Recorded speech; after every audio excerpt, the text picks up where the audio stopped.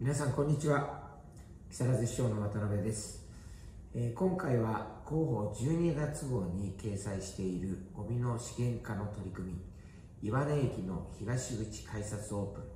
木更津地域循環共生圏の創造に向けた取り組みについてお話をいたします。まずは広報の表紙に掲載しているゴミの資源化に向けた取り組みについてです。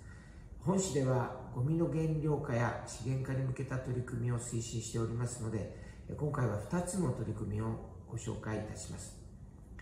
1つ目は粗大ごみの無料提供です。これは今年7月から始めた取り組みで修理等を必要としない比較的きれいな状態の家具を毎月第3土曜日に希望する市民の皆さんへ無料で提供するものでございます。提供するリユース品につきましては、市のホームページや地域の情報サイト、ジモティのホームページで掲載しておりますので、ぜひご覧いただきたいと思います。2つ目は、家庭配食油の回収です。こちらは昨年9月から始めた取り組みで、家庭から出る配食油を回収し、ろうそくや石鹸などに再利用するものでございます。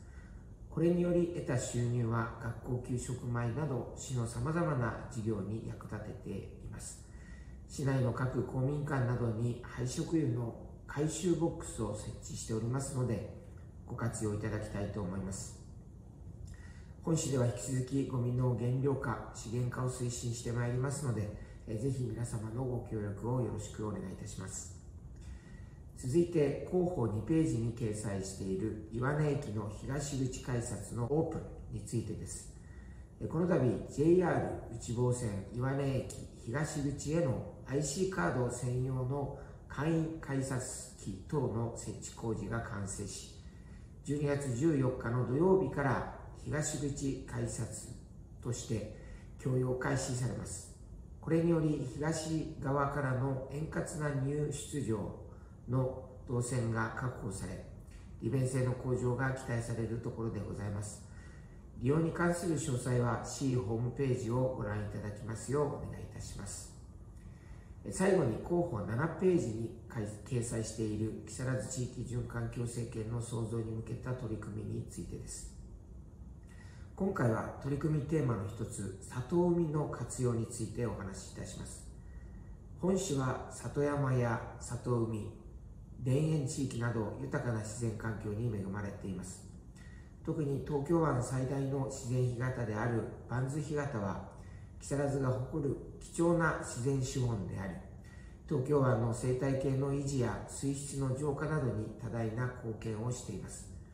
この自然干潟を未来に残していくことは私たちの大切な責務であり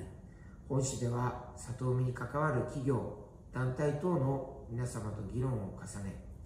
万津干潟の利活用にあたってのルール作りや